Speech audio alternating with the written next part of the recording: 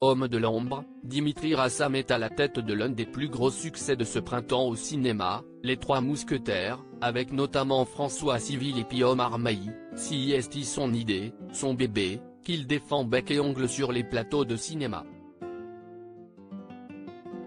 Une idée un peu folle, qui lui est venue pendant la pandémie, et qui fonctionne bien, porté par son casting de rêve, il a déjà atteint plus d'un million de spectateurs en salle. Il faut dire que le quadragénaire connaît le cinéma sur le bout des doigts, fils et neveu de producteurs de talent, filleul d'une véritable légende, Francis Ford Coppola, il peut compter sur un clan qui connaît parfaitement le métier et qui lui a toujours permis de rêver.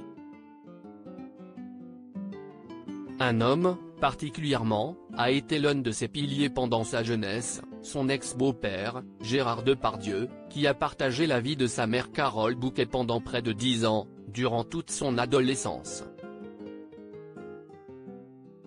J'ai eu beaucoup de chance d'avoir une mère très solide. Elle nous a construit une vie joyeuse, notamment avec Gérard Depardieu. J'ai connu la meilleure version de Gérard, Géry non-stop avec lui, se souvient-il d'ailleurs dans le dernier numéro du magazine Aime le Monde, lui qui a grandi avec un demi-frère, Louis, né d'une seconde union de sa mère. De rares confidences sur cette période de sa vie et sur le monstre du cinéma français, actuellement dans la tourmente, lui qui reste discret malgré une enfance pas toujours simple.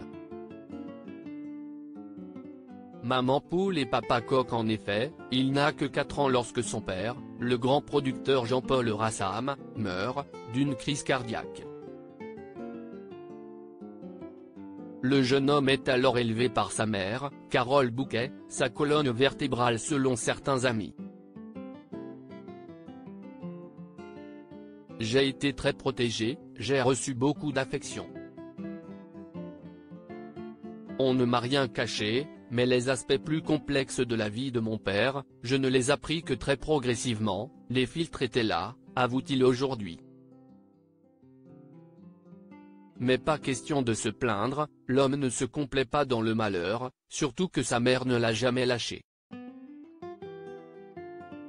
Décrivant la comédienne comme présente, autoritaire et stricte, à la fois maman poule et papa coq, le jeune homme s'inspire sans doute de ce modèle, tout autant que de celui de son beau-père, pour élever ses deux enfants, Dacha, 11 ans, né d'une première union, et Balthazar, 4 ans et demi, dont la mère est sa compagne Charlotte Casiraghi, fille de Caroline de Monaco, elle-même maman d'un petit Raphaël, 9 ans et demi.